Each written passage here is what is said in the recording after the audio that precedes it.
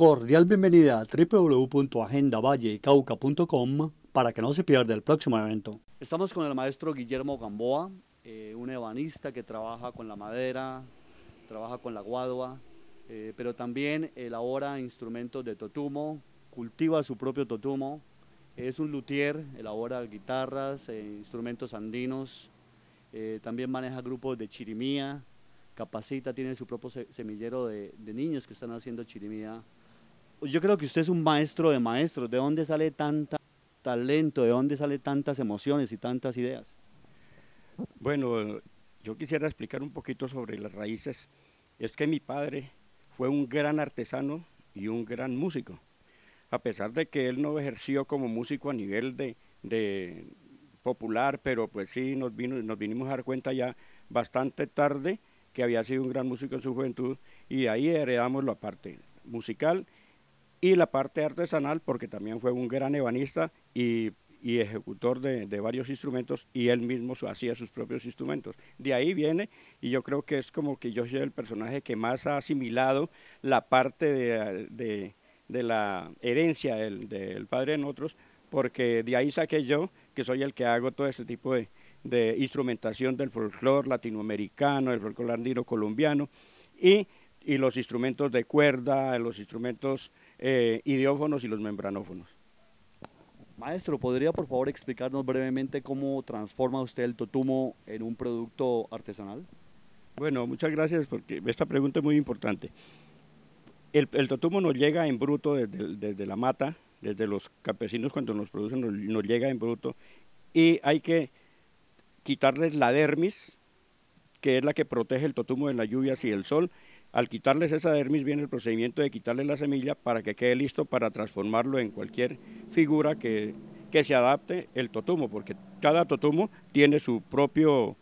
identidad para poderlo transformar en la, en la figura que más convenga de acuerdo al modelo y al tamaño. Por lo menos este, este aquí donde está, como están viendo, son de los que hacemos los gaticos, ya viene el, pelado, que es la quitada de la dermis, viene el cocinado, la quitada de la, de la semilla, el despulpe, y viene el lijado del pulimento para insertarle ya las piezas de madera y la otra pieza de la cabeza que es otro totumo, pero ya no en la especie de la de huasca, sino en la especie de árbol.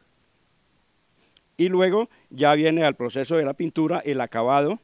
que ya tenemos acá la esposa que es la que se encarga ya de lo que es el lineamiento, de los colores, de, hacer los ojos, que es lo que identifica esto, esta clase de los gatos,